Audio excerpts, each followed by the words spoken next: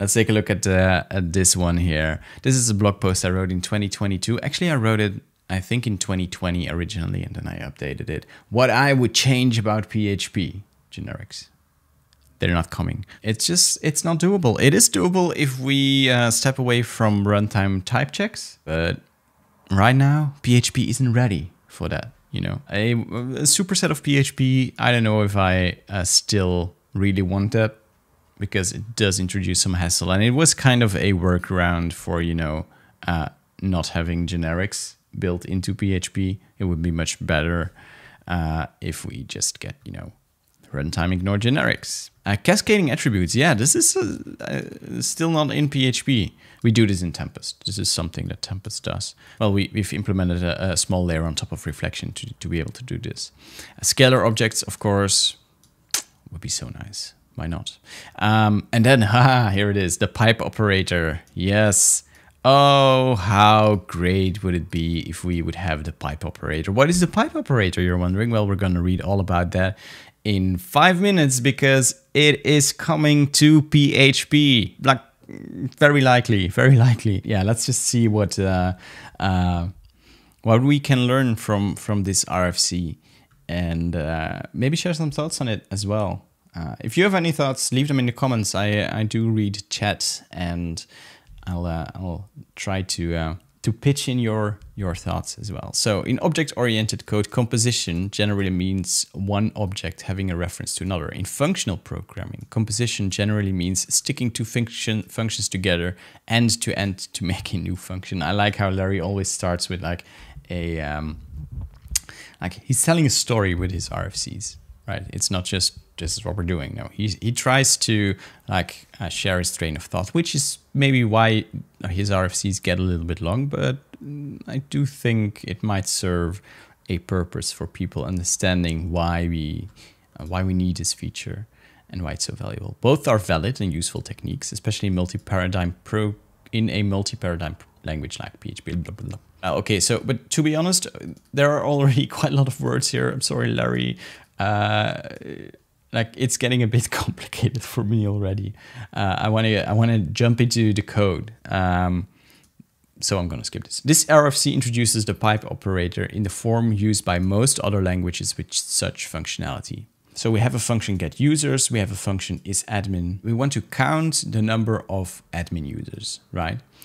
And so in what you would do in normal PHP, so you would say, if you want to count, you would say count of yeah, something like this. And now you you structure it, it a little bit better, of course, because you want readability. Do you do you like this? This is something we all do, right? This is you recognize this, but it, nested functions basically. You you take the results from uh, let's see. Uh, from get user, you pass it to array filter, you pass that result to count, you get like um, your result. And so the pipe operator makes that more of a, instead of a nested structure, right?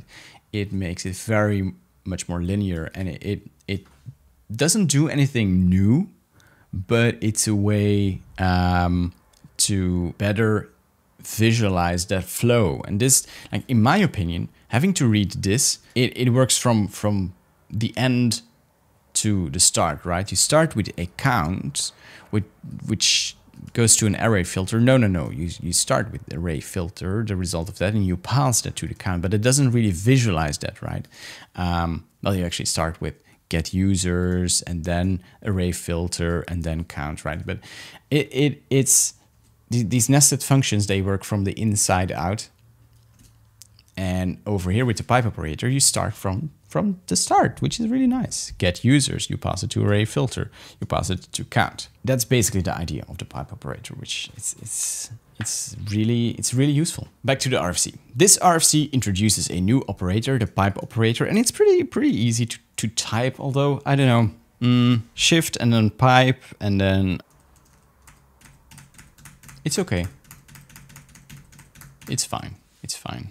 The, the pipe operator, or pipe, accepts a single parameter callable on the right and passes the left side value to it, evaluating to the callable's result. Okay, so it accepts a callable on the right and passes whatever is in front to that callable over here. Pipe evaluates left to right by passing the value or expression result on the left as the first and only parameter, this is important, to the callable on the right. That is, the following two code fragments are logically equivalent. You basically pass a, uh, a, a, closure reference to, to the pipe on the right side.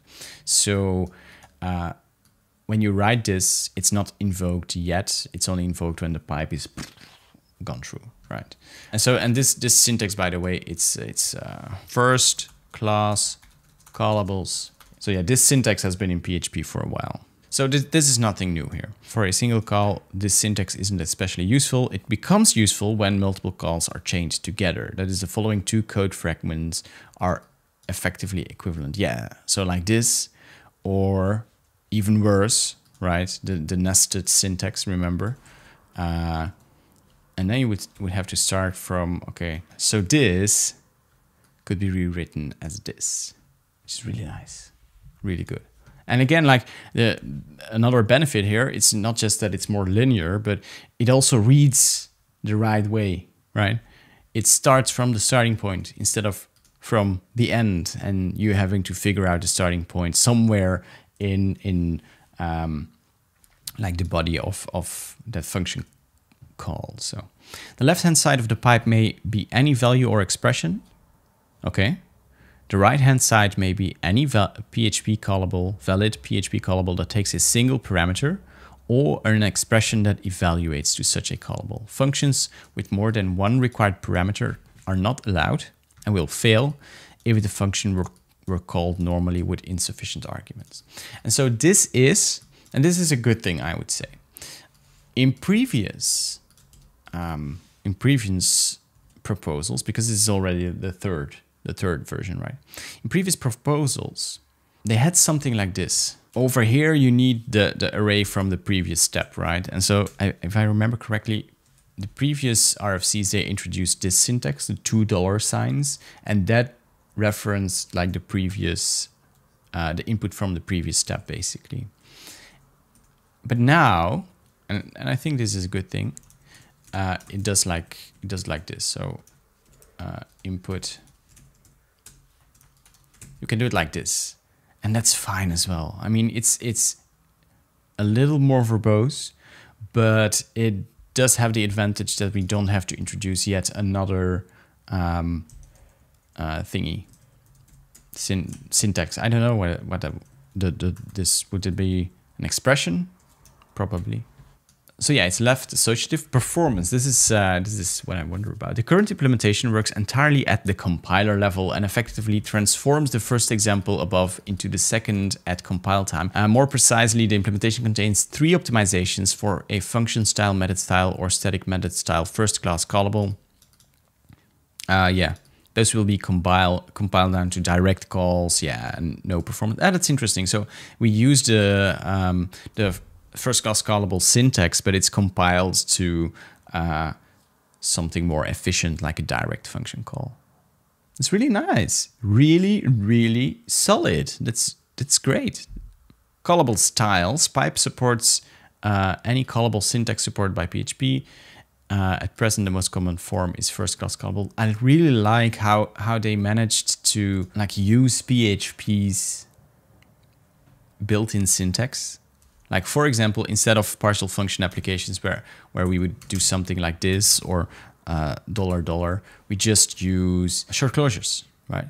And we use, instead of like doing this, we just reference, we use first class callables and, and it's really nice. It's a really solid RFC and it's, it's, it's great seeing these features come together in, well, what will be PHP 8.5.